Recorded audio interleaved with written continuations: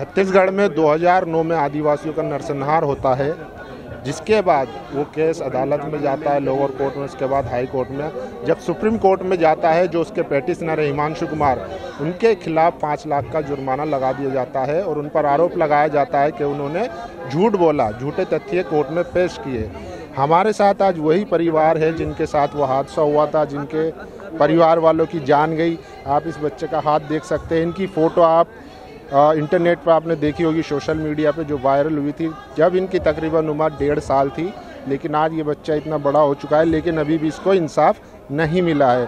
तो इनके घर वालों से ही समझेंगे कि क्या हुआ था और इंसाफ की उम्मीद कैसी लगती है। क्या हुआ था उस टाइम पे किस तरीके से आप पे हमला हुआ क्या? क्या हुआ खोए थे दो हज़ार नौ दे रियावा कई दिन कई दिन इच्छो हिंदी में हिंदी में कोई बता सकता है ये क्या कह रहे हैं? आ जाइए आ जाइए इधर आ जाइए। क्या नाम है आपका? सोनल परसा। कहाँ से आए हैं? बीजापुर से छत्तीसगढ़ बीजापुर। क्या हुआ था उस दिन जो 2009 की बात है कि नरसंहार की बात कही जा रही है? उस दिन क्या हुआ था? कुछ बता सकते हैं? जी उस दिन पुलिस फोर्स के द्वारा गाँव में गश्त करने के लाए थे। तो उस बीच में गाँव वाले को जमा करके कहीं बीच में इनकाउंटर कर दिए। तो उसमें से इसके ये जो है सुरेश इसकी मम्मी भी थी। तो उसके मम्मी को मार के जब डेढ़ साल का था तो इसको हाथ को खाट दिया गया पुलिस के द्वारा। जी जब हिमांशु सर को गुहार लगाए कि वो उधरी के कार्यकर्ता थे सामाजिक कार्यकर्ता तो उनको गुहार लगाए तो याचिका दायर करने के लिए दिल्ली में आए। तो उनके ऊपर भी अभी शायद बारह तेरह साल होने जा रहा है तो ये झूठा है बोल के उनके ऊपर जुर्माना ठोका गया है। तो वो तो जुर्माना ठोक दिया। उस दिन जैसे कितने जवान आए थे या क्या आप लोगों से कह रहे थे किस तरीके की बात कर रहे थे वो? बताओ ना।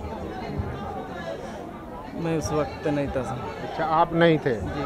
तो आपने देखा था वो क्या जो उस वक्त पुलिस वाले आए थे या जवान आए थे जिन्होंने मारा था?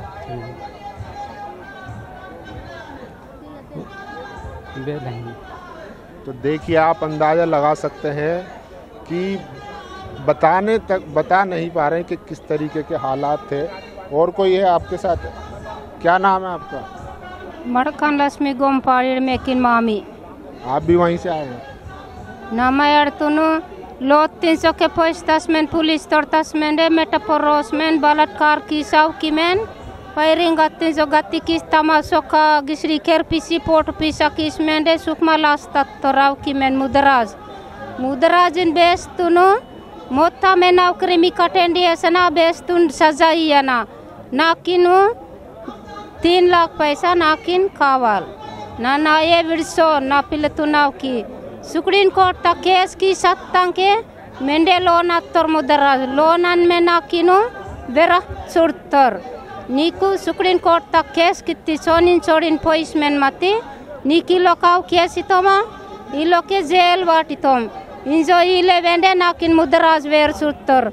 हस के अंजू, नाक वेर तस्के Vandi vandi ken aruk te gisri le men naate lopa nek garap kis men kork padi men de auki auki tin men vat toru narge vers versu auki men de. Ile kim tor mudrajin bestun sazja is men motam tendi esana nau kare i. Narge katra kim tor mudrajin besi ke oppo narge katra. Begaman kanki na jantun men de poisa aukana de jail tatana de. bekar gusudme kitinda nano kin dorkta nanon balatkar kiyana रेतना अवखना किम तोरु। दूड़ लास्क बेन दोरको मेंडा पेर के मेंडा तोरु। मूल वंशी मानसी किट्टा मानसी तुन मेंडे नरगे कतरा किस मेंडे वत्तर मुद्रा जे।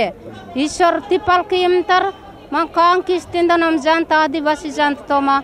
माँ मावल रोटाई कोट बोधु कुशिराई कोटो, माँ मेह की तिंदा नम, भूम पड़ी किस तिंदा नम गद मामा maakansan siis sormaakin katarkina doona baata kamminte. On mota nau krianta tendiesana on sa zakina On mota nau karina manno.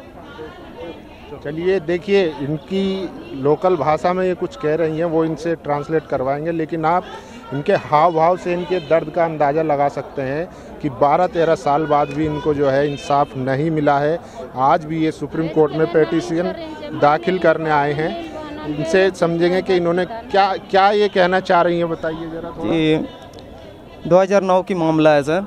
जब इनके घर में एक बेटी थी, उनको बुखार आया था तो अंदर में सोई हुई थी तो गश्त के लिए निकली थी फोर्स। तो उधरी से आते हुए फिर इनके घर में घुसे तो उनकी बेटी अंदर थी। ये गुहार लगाए भी उनसे कि उनका तबीयत खराब है, बुखार है, सोई है, आराम कर रही है बोल के। तो उन लोग ज़बरदस्ती अंदर घुस के उसको निकाले हैं। तो निकालते वक्त अपना उसको बचाव के लिए उसको पकड़ी थी तो इसको लाठी वाठी से मारे भी हैं। तो ऐसे करते, फिर भी ये अपना हिम्मत नहीं हारी तो उसको पीछे पीछे जाके और भी उसको बचाने का प्रयास किया अपने तरफ़ से तो उन लोग और भी डंडा में मारे, बेहोश हो गई, गिर गई बाद में। फिर आसपास गाँव वाले लोग को पता चला कि उसके बेटी को पुलिस लोग पकड़ के ले जा रहे हैं करके तो सब महिलाएँ इकट्ठा हुए। फिर उसको ढूँढने गए जंगल की तरफ़ तो तब तक उन लोग मार दिए थे। जी तो ऐसे ऐसे पुलिस प्रशासन अपने गाँव तरफ़ कर रहा है। तो हम अपनी मांग को आगे तो क्या इसके अलावा इन्हें बताइए थोड़ा इसके अलावा पुलिस वालों ने आपको उसके बाद डराया धमकाया नेताओं ने पुलिस वालों ने किसी ने? मड़का मुद्राज मुद्राज इन बेचने का खतरा। ननोन पुत्ताने गदा माक सग तोर गदा। सकसगमाने ईश्वर बाता में आकिन मुंडड़ मत तोनो थनक में आदिवासी तोरे और खां की स्थिति के बात आता पुलिस तगन में ईश्वर जंत तुनाव की मेन बात करना दोन बारू जंत तुनाव की और लाख लाख पैसा ये स्तिंदना मेंडे आप तो लोतनो ने जेल होना आप तो लोतरो रे वेंडे केस नाड़े ना थनक आप तो ना ना उक्तना नन केस नाड़े ना नन जेल दाए ना वो न बात कतरा ಆಕ್ತರವ್ರ ಜೇಲ್ ದಾತವ್ರ ಆಕ್ತರವ್ರ ಕೇಸ್ ನಾಡಿತವ್ರ ಕುಟುಂಬನವ್ರ ದಾತವ್ರ ಇದು ಬಾತ ಕತ್ತರ ಓನದು क्या क्या कह रही हैं बताइए ये पुलिस में एक शख्स है बात पे देर तो नहीं जगत अ, मुद्दाराज नाम के एक पुलिस शख्स हैं जो इनके रिश्तेदार भी हैं तो अब वो गांव में आके उनकी इनकी जो बेटी थी घर से वो ही निकाले हैं और उनका ऊपर बलात्कार करके मारने का भी उन्हीं का हाथ है ऐसे उनको आरोप लगा रहे हैं। जी। उनको पूछिए क्या अब उम्मीद है इंसाफ की हाँ हाँ। इन जी उम्मीद मिंदे की नीक न्याय दौर के जो फैसला आते जो। ओ नन दिन नन जाँच की है मन तन सुकड़ी कोर्ट तवा उसमें केस कितन गदा। हाँ। मेरे को फुल मेरे को मेरे को पूरा उम्मीद है सुप्रीम कोर्ट के ऊपर तभी मैं याचिका दायर करने के लिए दिल्ली तक आई हूँ ऐसे इनका कहना है। इनको पूछिए कि देश की राष्ट्रपति आदिवासी महिला है तो उनसे मिलकर मिलेंगी ये? क्या कहेंगी उनसे? हम्म। मन देश तक राष्ट्रपति पद ते मन आदिवासी नानो मिंदे। हाँ। तान पूछ की ला मिले माए चाहे माफ़ी ना आई भी तान पूछ की तान। मिलना चाहूँगी उनसे गुहार लगाऊँगी कि मेरे को इंसाफ मिले ऐसे बोल रहे हैं। तो देखिए, आप इनका दर्द समझ सकते हैं। एक तरफ़ सरकार आदिवासी महिला को राष्ट्रपति बनाकर आदिवासियों का कितना डेवलपमेंट चाहती है, ये तो दिखावा करती है, लेकिन असल में आदिवासियों के क्या हालात हैं, वो हम आपको दिखा रहे हैं। न्याय के लिए तेरह साल हो चुके उसके बाद जब सुप्रीम कोर्ट में याचिका दाखिल होती है तो जो पेटिशनर है हिमांशु कुमार, उन्हीं पर पाँच लाख रुपए का जुर्माना लगा दिया जाता है। इससे आप अंदाज़ा लगा सकते हैं कि सरकार सुप्रीम कोर्ट, जब सुप्रीम कोर्ट से जो न्याय का मंदिर कहा जाता है, वहीं से न्याय नहीं मिलेगा तो फिर जनता कहाँ जाएगी? कैमरा पर्सन धर्मेंद्र के साथ जनित आवाज़ दिल्ली।